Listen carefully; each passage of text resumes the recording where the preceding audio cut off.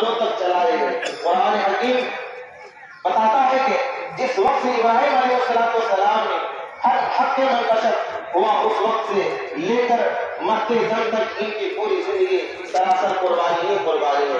दुनिया में जितनी चीज़ें ऐसी हैं जिसने इंसान मोहब्बत करता है, इनमें से कोई चीज़ ऐसी ना थी जिसको हज़रत इब्राहिम सलाम ने हज खातिर कुर्बान ना किया हो दुनिया में जितने खतरात जिनसे आदमी डरता है। इनमें से कोई खतरा ऐसा ना था जिसे उन्होंने राय हक में जला ना हो।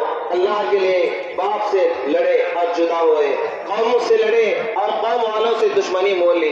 बादशाह से लड़े और आग में डाले गए। बेटा हुआ तो हुक्म आया बीवी और बच्चे को खश्त और बेआब वादी में छोड़ आओ बच्चा बड़ा हुआ तो हुक्म आया कि हमारी राह में दबा करो और आपने ऐसा ही किया।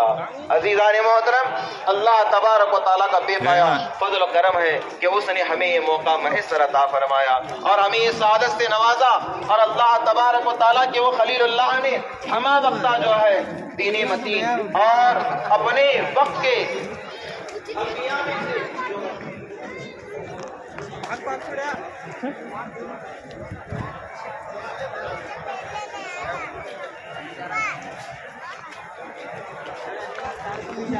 पड़े